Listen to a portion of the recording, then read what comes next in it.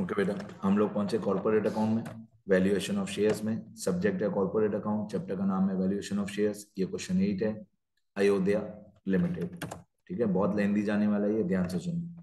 पहले question read करते हैं आराम से। The balance sheet of Ayodhya limited as on thirty one three two thousand twenty इधर अंडर इक्विटी एंड लाइबिलिटी मतलब यहाँ पे आपको बैलेंस शीट वर्टिकल फॉर्म में दी हुई है। इससे पहले जो मैंने क्वेश्चन कराए हैं, उनमें बैलेंस शीट का जो क्वेश्चन था, वो ओरिजेंटल फॉर्म में था।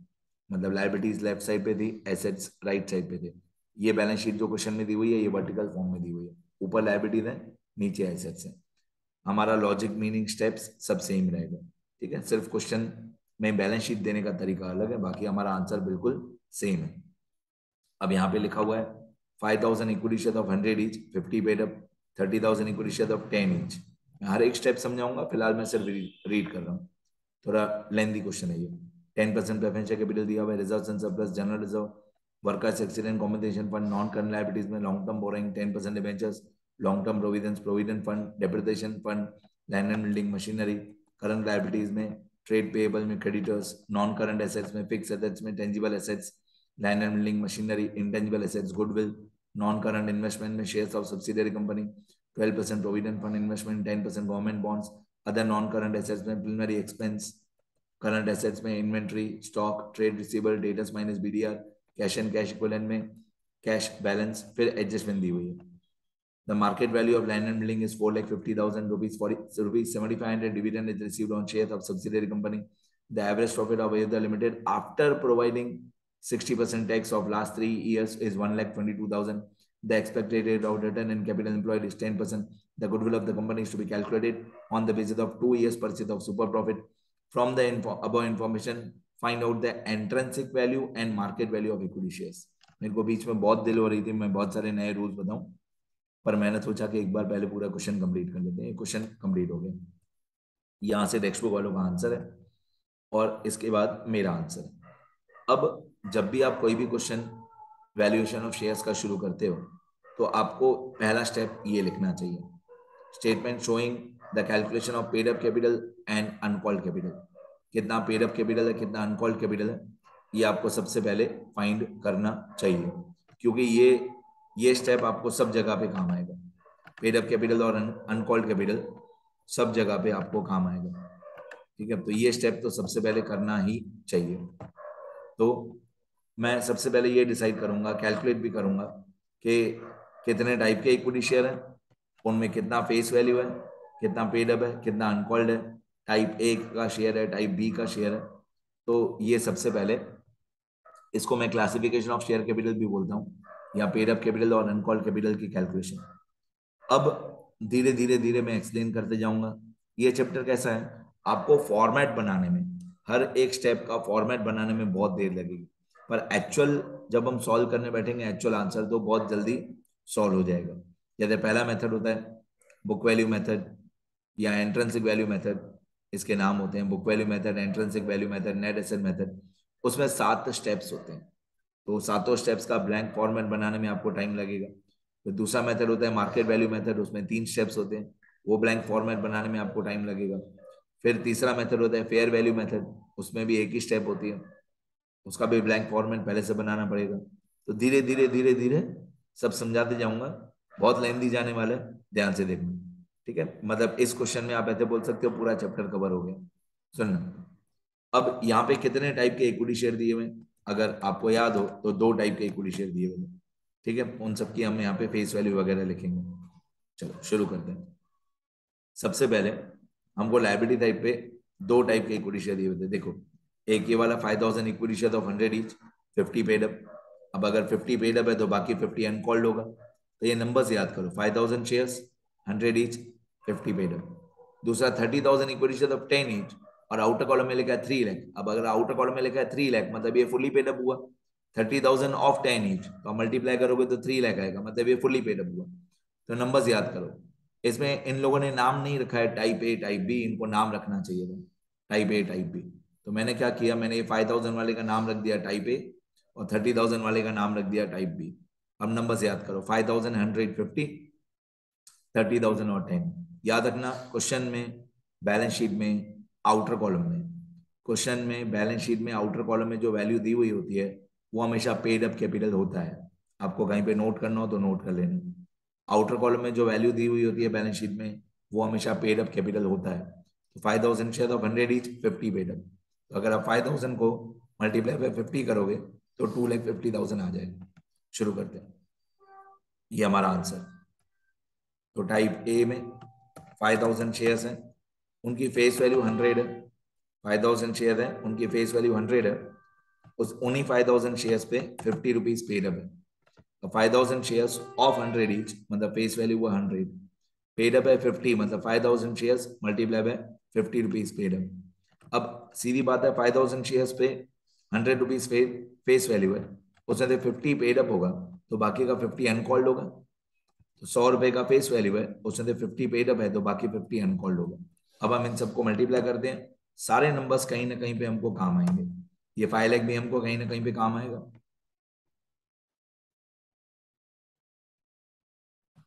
ये फाइव लाख रुपीज़ भी हमको कहीं ना कहीं पे काम आएगा, ठीक है? फिर फाइव थाउज़ेंड इंटू फिफ्टी ये टू लैख फिफ्टी थाउज़ेंड आएगा, ये भी हमको आगे चल के काम आएगा। फिर five thousand into fifty two lakh fifty thousand ये भी हमको आगे चल के काम आएगा।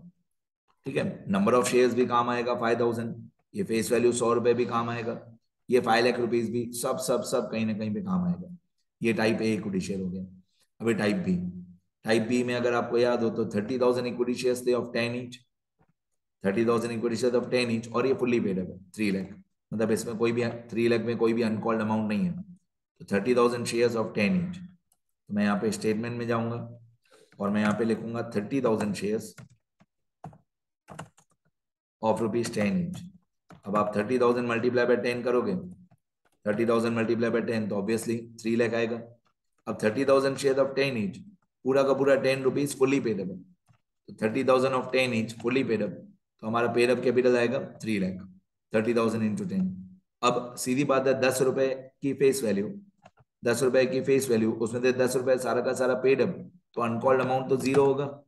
अनकॉल्ड अमाउंट होगा ज़ीरो तो थर्टी थाउज़ेंड शेयर पे मल्टीप्लाई बाय ज़ीरो करोगे आप तो thirty thousand multiply by zero obviously zero आएगा।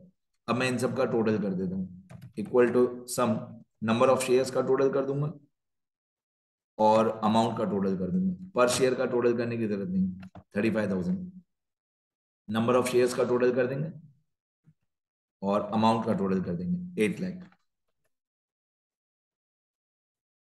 thirty five thousand five lakh fifty thousand thirty five thousand two lakh fifty thousand ये टोटल्स भी हमको कहीं ना कहीं पे काम आएँगे। मतलब टोटल शेयर है थर्टी फाइव थाउज़ेंड उस पर आठ लाख रुपए टोटल पेडअप है। थर्टी फाइव थाउज़ेंड शेयर पे five lakh fifty thousand sorry आठ लाख रुपए फेस वैल्यू है। मैंने गलत बोला? थर्टी फाइव थाउज़ेंड शेयर की टोटल फेस वैल्यू आठ लाख है। उस आठ लाख में से five lakh fifty thousand paid है। बाकी two lakh fifty thousand uncalled है, ठीक है? अभी यहाँ पे एक नया पॉइंट शुरू करता हूँ। जब ये फेस वैल्यू पर शेयर अलग अलग होता है हंड्रेड रुपीज़ और टेन रुपीज़ जब ये फेस वैल्यू पर शेयर अलग अलग होता है तो पहले मेथड में स्टेप सेवन बी होता है। मैंने सिखाया बहुत बार थियरी वाले पेजेस में भी, कि सेवन ए कब होता है सेवन बी कब होता है। मैं एक बार रूल लिख के देता हूँ। ये रूल आप लोग थियरी वाले पेजेस में लिखना थोड़ी देर के बाद।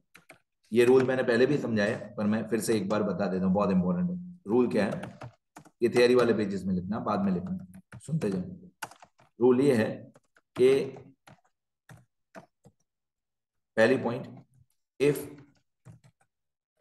if only one type of equity share is given if only one type of equity share is given then step 7a is done. अगर एक ही टाइप का इक्विटी शेयर दिया हुआ तो स्टेप सेवन ए करते हैं। मतलब पहले मेथड में एंट्रेंस वैल्यू वाले मेथड में लास्ट स्टेप होता है, उसको सेवन ए बोलते हैं। अगर एक ही टाइप का इक्विटी शेयर दिया हो तो। अगर एक ही टाइप का इक्विटी शेयर दिया हुआ है तो स्टेप सेवन ए अब अगर एक से ज़्यादा टाइप के इक्विटी शेयर दिए हुए if more than one type if more than one type types या type of equity shares are given and their face values and their face values are same अगर एक से ज़्यादा टाइप इक्विटी शेयर्स दिए हुए हैं और उनकी फेस वैल्यू सेम है then step seven A is done अगर एक से ज़्यादा टाइप के इक्विटी शेयर्स हैं और उनकी फेस वैल्यू सेम है तो भी स्टेप सेवन ए ही होता है और लास्ट पॉइंट अगर एक से ज़्यादा टाइप के इक्विटी शेयर्स हैं if more than one type of equity share if more than one type of equity shares are given and their face values are different and their face values are different then step 7b is done तो मैंने आपको theory वाले pages के rules भी बता दिए। एक ही टाइप का इक्विटी शेयर है तो seven A more than one type of equity shares हैं, और फेस वैल्यू सेम है तो seven A more than one type of equity share है, और फेस वैल्यू डिफरेंट है तो सेवन बी अब ये जो सारे नाम है seven A seven A seven B ये सब मैंने नाम रखे हैं। ऐसे कोई भी नाम बुक्स में नहीं है। तो मैंने हर एक स्टेप का नाम नंबर रख दिया तो स्टेप इस क्वेश्चन में कौन सा होगा? इस क्वेश्चन में स्टेप सेवन बी होगा। Because more than one type of equity shares are given A type और B type more than one and face value अलग अलग है। एक का फेस वैल्यू सौ रुपए है और एक का फेस वैल्यू दस रुपए है। दोनों का फेस वैल्यू अलग अलग है। चलो, अब आपको फॉर्मेट बनाने में बहुत देर लगेगी एग्ज़ाम में। जब आप एग्ज़ाम में सारे स्टेप्स का फॉर्मेट बनाओगे, उसमें ही आपको इतनी देर लग जाएगी। फिर वैल्यूज़ पुटअप करोगे, वो जल्दी हो जाएगा। एक्चुअल सम सॉल्व करोगे, वो जल्दी हो जाएगा। तो मैंने क्या किया मैंने सात स्टेप और तीन स्टेप और एक स्टेप सबका फॉर्मेट बना के रखा है, ठीक है? अब सुनो ध्यान से। इस क्वेश्चन में पहला मेथड नेट एसेट मेथड या बुक वैल्यू मेथड या एंट्रेंसिक वैल्यू मेथड ये पहले मेथड का नाम होता है। इस क्वेश्चन में गुडविल की न्यू वैल्यू नहीं दी हुई है। इस क्वेश्चन में here new value of goodwill is not given अगर न्यू वैल्यू ऑफ़ गुडविल नहीं दी हुई होती है, ये भी रूल्स हैं। अगर गुडविल की न्यू वैल्यू नहीं दी हुई होती है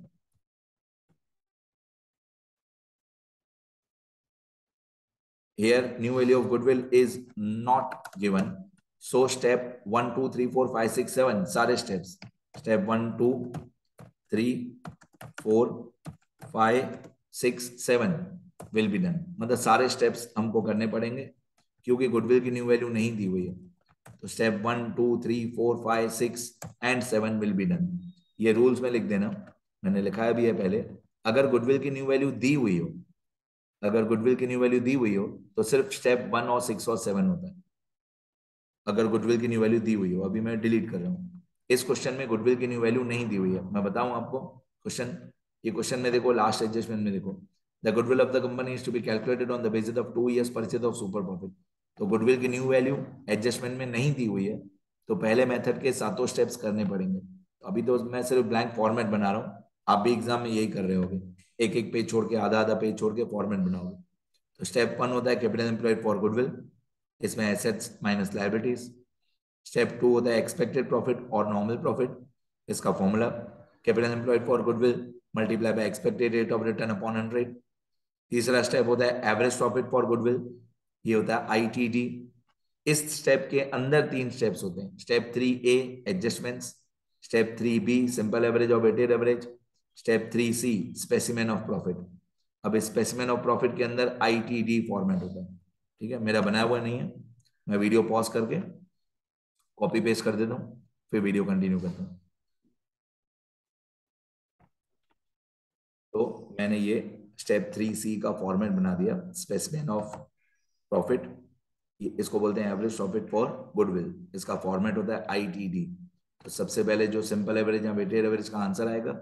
उसमें से आईटीडी तीन चीज़ें माइनस करेंगे। I for interest on non trading investment T for taxes D for preferential dividend one year compulsory इसके बाद एवरेज प्रॉफिट फॉर गुडविल आएगा।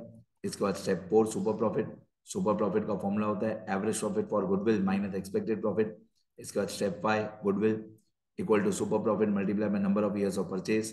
Step six capital employed for shares इसमें चार अमाउंट आती है। मैंने बताया बहुत बार। तो आपको ये पूरा ब्लैंक फॉर्मेट बनाने में बहुत देर लग जाएगी। ठीक है? कैपिटल एम्प्लॉयड फॉर शेयर्स उसमें चार अमाउंट होती है। कैपिटल पहली amount capital employed for goodwill दूसरी अमाउंट गुडविल की मार्केट वैल्यू जो स्टेप फाइव में से आ जाएगी। गुडविल की मार्केट वैल्यू जो स्टेप फाइव का आंसर होगा। मतलब स्टेप वन का आंसर और स्टेप फाइव का आंसर दोनों चाहिए। फिर नॉन ट्रेडिंग इन्वेस्टमेंट क्वेश्चन में दे आएगा। फिर uncalled amount on all types of equity shares तो ये हमारा स्टेप फोर मतलब सॉरी स्टेप सिक्स यहाँ पे कंप्लीट हो जाएगा। इसमें चार अमाउंट आती है। इसके बाद step seven book value per equity share अब ये स्टेप सेवन जो है, जैसे ही आप स्टेप सेवन शुरू करोगे तो आपको पहले ये देखना पड़ेगा कि कितने टाइप के इक्विटी शेयर्स हैं, उन सब की फेस वैल्यू क्या है। तो मैंने आपको पहले स्टार्टिंग में बताया कि यहाँ पे एक से ज़्यादा टाइप के इक्विटी शेयर है, उनकी फेस वैल्यू अलग अलग है। तो step seven B will be done here more than one type of equity shares are given and their face values are different. So step 7b should be done. Step seven B क्या होता है? ये जो capital employed है ना for shares ये वाला। इसको हम लोग टाइप ए और टाइप ए के रेश टाइप ए और टाइप बी के रेशियो में डिस्ट्रीब्यूट करते हैं। तो ये वाला जो कैपिटल एम्प्लॉयड फॉर शेयर्स आया, इसको हम डिस्ट्रीब्यूट करेंगे एक रेशियो में। Now we should distribute the capital employed for shares into two types of equity share into two types of equity shares in the ratio of in the ratio of equity share capital if fully paid up तो type A और type B का हम ratio निकालेंगे। तो हम लोग एक ratio निकालेंगे टाइप ए और टाइप बी का, उसमें number of shares multiply by face value होगा। टाइप ए में भी number of shares multiply by face value type B में भी number of shares multiply by face value फिर इन दोनों अमाउंट्स का एक रेशियो आएगा। उस रेशियो में कैपिटल एम्प्लॉयड फॉर शेयर्स जो स्टेप सिक्स का आंसर था, उसको डिस्ट्रीब्यूट कर देंगे। ठीक है? अब यहाँ पे कैपिटल एम्प्लॉयड दोनों का अलग अलग आ जाएगा टाइप ए का और टाइप बी का। मैं सॉल्व करके बताऊँगा अमाउंट्स के साथ तो ज़्यादा पता चलेगा पर ये है ब्लैंक फॉर्मेट जो आप पहले से बना लोगे। फिर आएगा book value per equity share जो टाइप ए का कैपिटल एम्प्लॉयड आया, उसको डिवाइडेड बाय टाइप ए का number of share minus uncalled amount per share of type A उसी तरह से टाइप बी में भी, जो टाइप बी का कैपिटल एम्प्लॉयड आया, उसको डिवाइडेड बाय टाइप बी के number of shares minus uncalled amount per share वो भी टाइप बी का। तो इस तरीके से टाइप ए और टाइप बी का बुक वैल्यू पर शेयर के सातों स्टेप्स मैंने बता दिए ब्लैंक फॉर्मेट फिर जो दूसरा मेथड होता है, उसको हम लोग बोलते हैं market value method market value method का दूसरा नाम होता है बेसिस वैल्यूएशन इसमें पहला स्टेप होता है average profit for shares TGD जैसे एवरेज प्रॉफिट फॉर गुडविल में क्या होता है? आईटीडी तो इसमें होता है TGD step seven step one A adjustments अगर कुछ प्रॉफिट में करेक्शन करना हो तो। वन बी सिंपल एवरेज और weighted average according to trend increasing trend हो तो वेटेड एवरेज फिर step one C specimen of profit TGD specimen of profit TGD मतलब सबसे पहले profit before interest and tax less taxes less amount transfer to general reserve less preferential dividend फिर आ जाएगा हमारा एवरेज प्रॉफिट फॉर शेयर्स इसके बाद rate of dividend second method का step two rate of dividend rate of dividend का formula average profit for shares multiply by hundred upon total paid up capital of all types of shares फिर step three market value per equity share equal to formula, rate of dividend multiplied by paid up value per equity share upon expected rate of return. अब क्या मेरे को ये सारे steps याद हैं? सारे फॉर्मूला याद हैं? आपको घर से ये सारे स्टेप्स याद करके जाने सीधा एग्ज़ाम में जाके लिख देने सारे स्टेप्स फिर वैल्यूज़ पुटअप करनी और हर एक स्टेप के बाद आधा पेज छोड़ देना। ठीक है? फॉर्मूला लिखते जाना। फिर मार्केट वैल्यू आएगा टाइप ए का पहले, फिर टाइप बी का। फिर इसके बाद तीसरा मेथड होता है फेयर वैल्यू वो इस क्वेश्चन में नहीं पूछा है, पर एक ही लाइन का होता है, इसलिए मैंने लिख दिया। फेयर वैल्यू का फॉर्मूला होता है book value plus market value upon two exam में ये नहीं पूछा हो तो नहीं सॉल्व करना। ठीक है? Fair value of type A मतलब फ़र्स्ट मेथड का आंसर प्लस सेकंड मेथड का answer divide by two book value plus market value upon two तो टाइप ए का आंसर और टाइप बी का आंसर ये फॉर्मेट आपको पहले ही जाके बना देने ठीक है? अब धीरे धीरे शुरू करते हैं। एक एक मतलब एडजस्टमेंट से। पहले मैं सारी एडजस्टमेंट सॉल्व करूँगा, उसके बाद मैं ओल्ड बैलेंस शीट सॉल्व करूँगा। ठीक है? पहले एडजस्टमेंट से शुरू करते हैं। और कौन सी एडजस्टमेंट कौन से स्टेप में आएगी? सारे स्टेप्स का फॉर्मेट बना के रखा। है सुनते जाओ। The market value of land and building is four lakh fifty thousand ये स्टेप वन में आएगा। Market value of land and building four lakh fifty thousand पहले मेथड के स्टेप वन में, ये four lakh fifty thousand capital employed for goodwill में। Land and building का market value दिया हुआ। जब एक बार आपको लैंड एंड बिल्डिंग का मार्केट वैल्यू दिया हुआ है फोर लैख फिफ्टी थाउज़ेंड तो ओल्ड बैलेंस शीट में ओल्ड बैलेंस शीट में लैंड एंड बिल्डिंग का जो ये एसेट साइड पे ओल्ड बैलेंस शीट में लैंड एंड बिल्डिंग का ये जो three lakh seventy five thousand दिया हुआ एसेट साइड पे, वो भी कट कर देने का, ऐसा बोलने का कि ये हमारे काम का नहीं है, क्योंकि मार्केट वैल्यू दिया है ना फोर लैख फिफ्टी थाउज़ेंड तो ये three lakh seventy five thousand book मतलब ये कॉस्ट प्राइस है, और यहाँ पे लाइबिलिटी साइड पे लैंड एंड बिल्डिंग का डेप्रिटेशन फंड दिया हुआ है। इन दोनों को सीधा सीधा कट कर देने का।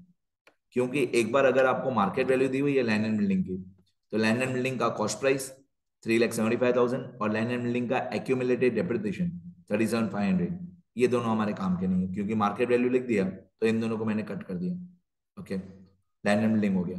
ये सेकंड पॉइंट में, हर हर एडजस्टमेंट में मेरे को तो ऐसा लगता है, मैं कुछ ना कुछ कुछ ना कुछ नया रूल बताते रहूँ। सुनना ध्यान से।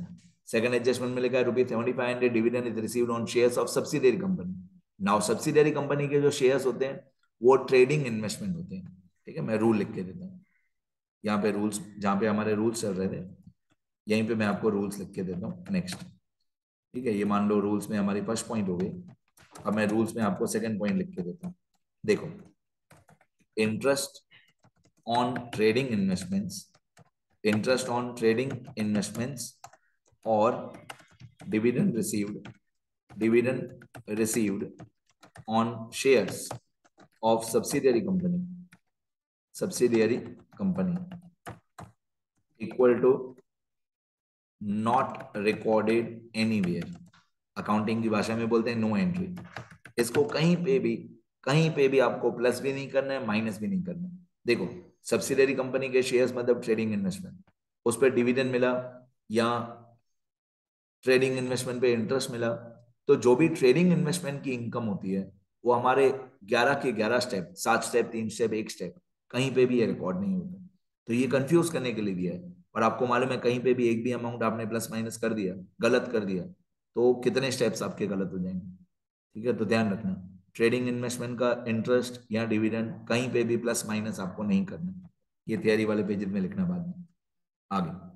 फिर आप लोगों को थर्ड एडजस्टमेंट दिया हुआ है। The average profit of Ayodhya limited after providing sixty percent tax of last three years is one lakh twenty two thousand अब मेरे को है ना, मेरे को कभी भी आफ्टर वाला चाहिए ही नहीं होता।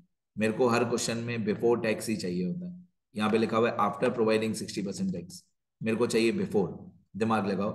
ये जो one lakh twenty two thousand है, इसमें से sixty percent tax after accountancy में आफ्टर मतलब माइनस करने के बाद और बिफोर मतलब माइनस करने के पहले। तो one lakh twenty two thousand जो ये दिया हुआ है one lakh twenty two thousand इसमें से सिक्सटी परसेंट टैक्स माइनस किया हुआ है मतलब ये फोर्टी परसेंट है।